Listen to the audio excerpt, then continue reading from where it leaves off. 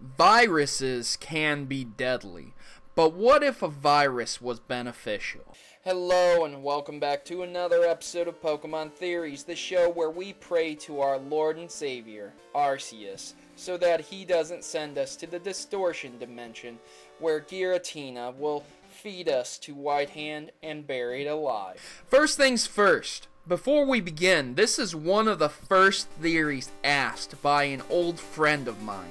So big shout out to one of my oldest friends, Tammy. Today's theory, what exactly is Pokerus? What has it done? And how did it spread? We're not talking about Spider-Man and symbiosis here today. No, we are discussing Pokerus, the infamous virus known for causing only positive things. Pokerus is an example of a mutualistic virus. Admittedly, I did not know what that meant at first. So let's define what a mutualistic virus is. While seemingly oxymoronic, a virus is classified by infecting cells rather than negative effects in which both the host and the virus benefit. Again, not symbiosis. Viruses with possible positive effects exist in the real world, but all of Pokerus's known effects are objectively positive. A notable difference between biological viruses and the Pokerus is that biological viruses infect the host cell by mutating the cell's DNA. Pokerus only affects the host Pokemon's effort values, so no host's individual values, which are regarded as the Pokemon's analog DNA.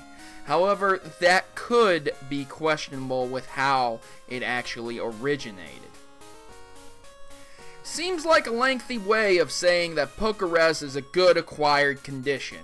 Pokerus is a virus, and like all viruses, it spreads in similar ways by contact, battling against, with, or near Pokemon that has Pokerus. Even a Pokemon Center cannot cure the condition known as Pokerus. Contracting the virus cannot be cured by normal means except by breaking the fourth wall, and that is the only way to remove the condition. If a trainer wanted to remove Pokerus, they would have to trade their Pokemon to the game Pokemon Stadium or to Generation 1 games. The reason for this is that Pokerus didn't exist in Generation 1. But wait a minute. Pokerus didn't exist in Generation 1? Then when? What? How? What? Is this a plot hole? Even so, it works in my favor. So far we have identified what Pokerus is, what it does, how it spreads. But perhaps we should look at its origin. Pokerus began showing up in Johto two years after the events of Kanto. This means that Kanto was completely immune to the virus two years before the events of Johto. Taking into account the timetables, the events of Ruby, Sapphire, and Emerald occurred at the same point as Red, Blue, and Yellow. But Proto, talking about timelines are boring. But Proto, this isn't medical school. But Proto, Bulbasaur can learn Whirlwind. Comment section, bear with me. Working hard to make this entertaining. Some things are just always going to be boring. If Pokerus completely skipped over Kanto, that means it wasn't exposed to that region. However, the events of Johto means at some point in time, the virus started spreading. Tying this all together requires many references of my previous theories. Mainly, Professor Oak used Celebi to time travel across dimensional space and time to find every Pokemon. Obviously, Pokerus wasn't attached to Celebi when it first began. At some point in time, Oak and Celebi must have encountered the virus's origin. Where did this virus originate? There is only one real reference to a virus Pokemon. This Pokemon originated from space, much like Clefairy. Unlike Clefairy, this Pokemon is a mutated virus that, upon exposure to a laser, changed into a physical form. A Pokemon that is able to alter its own form by upgrading its speed, defense, and offensive capabilities. Who's that Pokemon? It's Deoxys, the DNA Pokemon. And viruses have been known to alter DNA. Still skeptical? Let's take a Pokedex reading. Just one. An alien virus that fell to Earth on a meteor underwent a DNA mutation to become this Pokemon.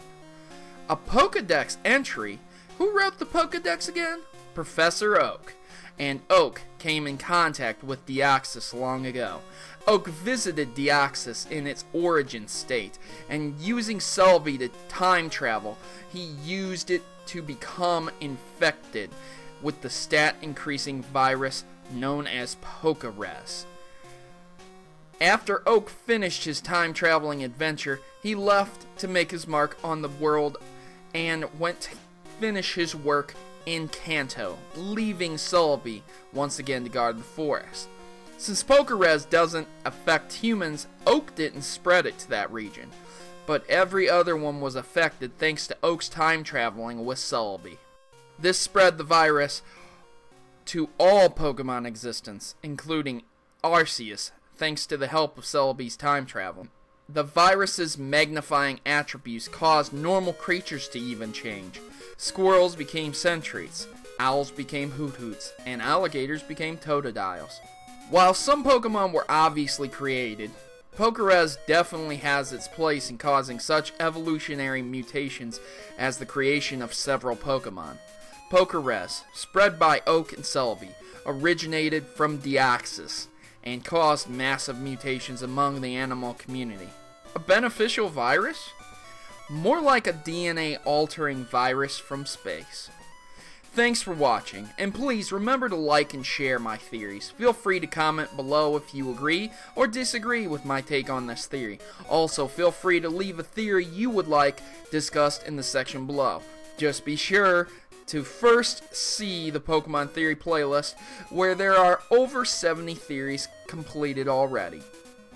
I've been your hostess with the mostest, Proto Mario, and I'm signing out. Good gaming, and God bless. I hope you enjoyed that video, and now time for a public service announcement. I'm Proto Mario, leader of the Maverick Rebellion.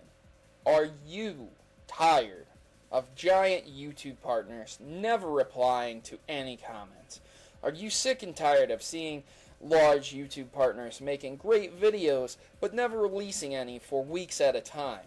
Are you tired of the mundane, continuous reality that keeps being pushed in your face? Copyrights, violations, videos being taken down on YouTube. Join the rebellion today and become a maverick, where all of that will change for you. Just click the subscribe button, you'll be in great hands. I'm Proto Mario, and I approve this message.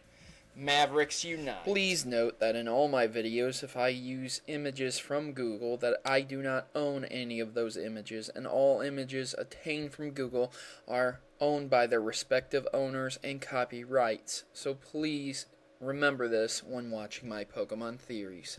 Thanks.